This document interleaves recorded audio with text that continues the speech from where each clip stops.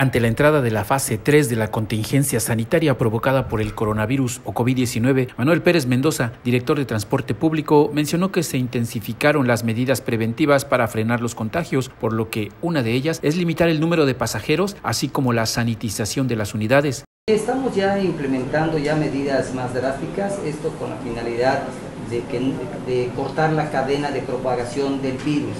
En ese sentido, estamos dando ya instrucciones de manera obligatoria a todo el transporte público, llámese combis o llámese TUPSA, para que sea de manera obligatoria tanto para el operador como el usuario de traer el cubrebocas.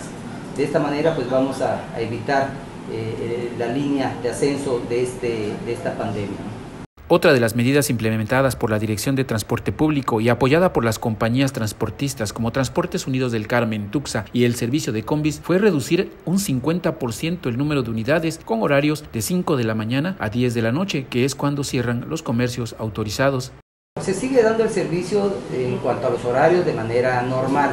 Se están cubriendo desde las 5 de la mañana hasta las 10 de la noche, que es cuando cierran prácticamente los centros comerciales lo que se ha hecho es reducir el número de unidades, sí se ha disminuido, en el caso de, los Tuxas han disminuido eh, prácticamente el 50% de su parque vehicular.